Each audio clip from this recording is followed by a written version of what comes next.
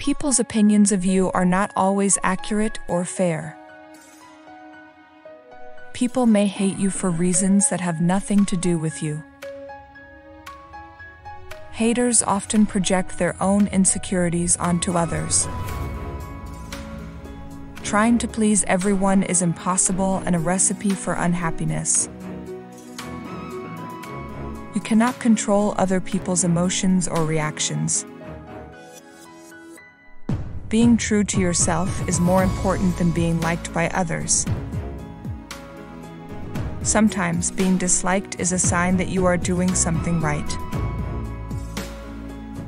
Haters can be a source of motivation to work harder and achieve your goals. Haters often have a limited perspective and may not understand your situation fully. Hating someone takes a lot of emotional energy and effort, so it may not be sustainable. It is important to surround yourself with people who support and encourage you. Ignoring haters can be an effective way to avoid drama and negativity. Responding to hate with kindness and understanding can diffuse the situation. It is possible to learn from criticism even if it is delivered in a negative way. Haters often want attention, so refusing to engage with them can be a powerful statement. Being the target of hate can be a learning experience that helps you develop resilience and strength. It is important to remember that everyone has flaws and makes mistakes. Focusing on your own growth and development is more important than worrying about what others think.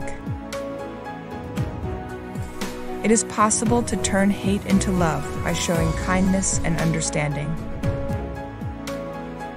Haters often lack empathy and may not understand how their words and actions affect others.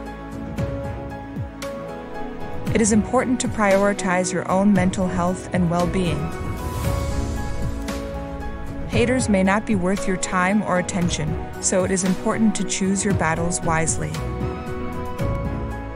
Haters often have their own issues and struggles that they are dealing with.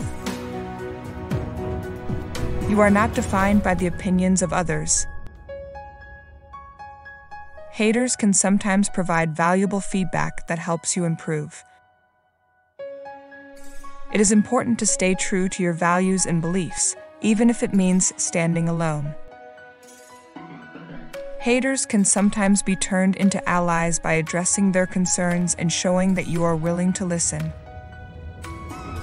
It is possible to forgive and move on from hate, but it takes time and effort.